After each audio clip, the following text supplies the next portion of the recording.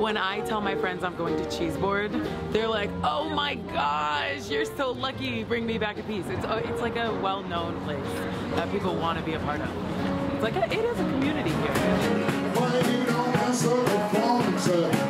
Started out with a very homogeneous group, kind of radical hippies or something, back in um, the early 70s, where we look at capitalism as not the only possible way that you can have, make a living. The cheese will work on a kind of a anarchic kind of model, equal pay for equal work. Um, I'm an immigrant and a woman of color, and this is one of the most empowering places I've That's why I'm still at the cooperative after 44 years.